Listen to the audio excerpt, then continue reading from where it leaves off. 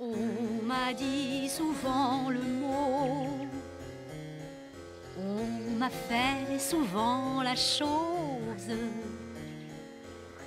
Et j'avoue aimer le mot.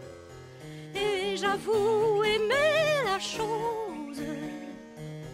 Mais si entre chose et mot, je dois choisir quelque chose,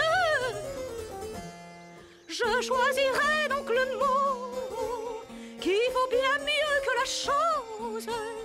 Car on dit encore le mot quand on ne fait plus la chose. Car on dit encore le mot quand on ne fait plus la chose.